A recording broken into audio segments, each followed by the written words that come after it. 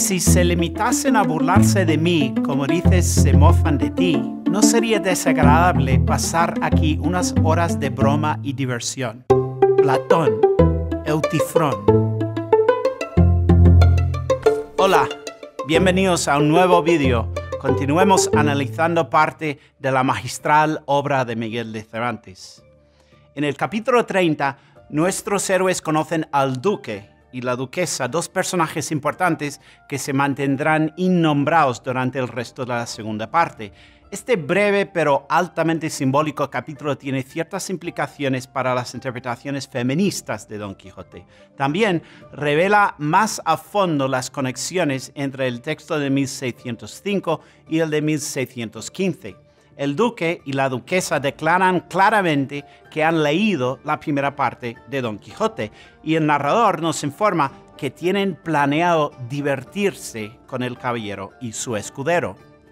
El capítulo comienza con nuestros héroes deprimidos tras la aventura del barco, en particular Sancho, a quien llegaba al alma llegar al caudal del dinero. El narrador incluso nos cuenta que Sancho decide abandonar a su amo. Buscaba ocasión de que sin entrar en cuentas ni en despedimientos con su señor, un día se desgarrase y se fuese a su casa.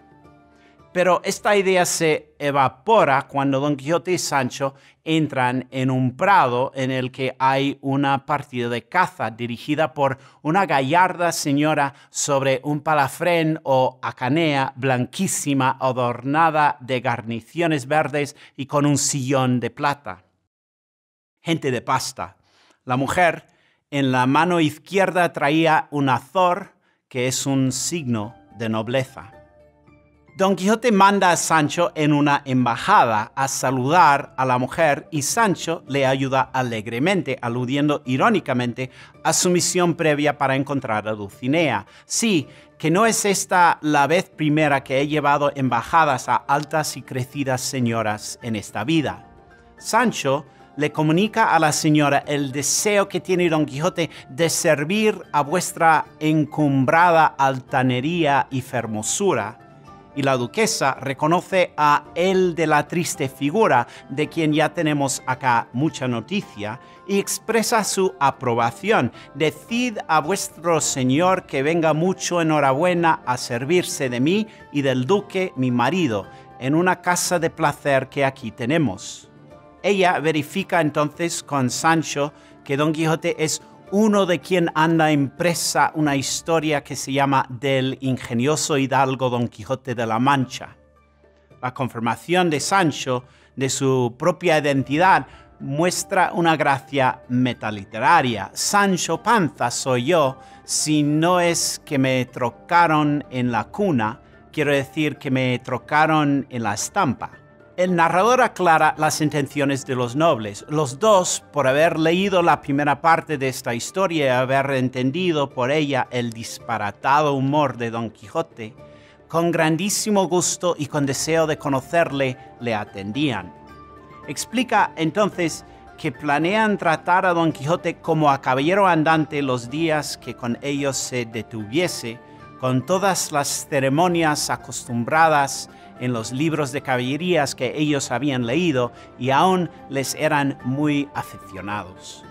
Vemos aquí que la nobleza aragonesa eran fanáticos de todo lo relacionado con la caballería. Aragón es tal vez el único sitio donde Don Quijote se habría sentido en casa. Los torneos de Zaragoza que atraen a Don Quijote a lo largo de la segunda parte cuadran perfectamente. ¿Sabías que la gran mayoría de los críticos de Don Quijote creen que los duques son malvados. Ahora, Cervantes proporciona un toque de humor bufonesco, pero como es a la vez una pérdida de la gracia, también resulta simbólico para la tragedia global de la novela. Según Don Quijote se aproxima, Sancho se cae de su asno y Don Quijote sin darse cuenta de que Sancho ya no está sujetando su estribo, también se cae de Rocinante. El duque expresa su arrepentimiento y Don Quijote responde con una hipérbole que es simultáneamente ominosa y divertido. El hidalgo se considera a sí mismo afortunado por haber conocido a este valeroso príncipe, aunque mi caída no parará hasta el profundo de los abismos. Entonces, alaba a la duquesa, digna señora de la hermosura y universal princesa de la cortesía.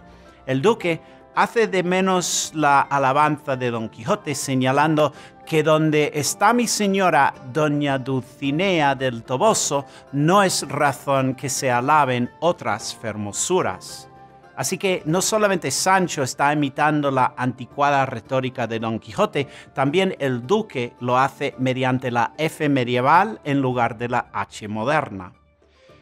El comentario de Sancho es fascinante y sofisticado, que yo he oído decir que esto que llaman naturaleza es como un alcayer que hace vasos del barro, y el que hace un vaso hermoso también puede hacer dos y tres y ciento. Dígolo porque mi señora la duquesa a fe que no va en zaga a mi ama la señora Dulcinea del Toboso. El alcayer o alfarero recuerda las tinajas gigantes de El Toboso fabricadas por moriscos que vimos en la casa de Miranda y en la boda de Camacho, pero están sucediendo más cosas aquí. Sancho alude al demiurgo, una entidad mediadora entre el mundo espiritual y el material. Del mismo modo, Don Quijote se refiere a la duquesa como vuestra gran celsitud. La base del feminismo moderno es el respeto. Aquí vemos cuánto le debe el feminismo a la filosofía renacentista del neoplatonismo, el cual veía a las mujeres como manifestaciones divinas, es decir, como proyecciones materiales de la perfección metafísica. Misión Quijotesca. ¿Con qué título llama Don Quijote al duque? A. Majestad. B. Príncipe. C. Lugarteniente.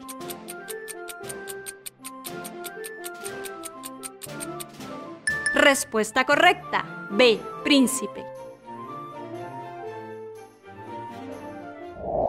Don Quijote se siente avergonzado por el resbalón y la charlatanería de su escudero. El uso cómico de Cervantes de este contraste teatral caracterizará el tiempo que Don Quijote y Sancho pasen en el palacio ducal. Hidalgo y escudero comienzan ahora a representar una especie de extraño y moderno dúo cómico, burlándose el uno del otro de sus payadas y deleitándose en los errores del otro.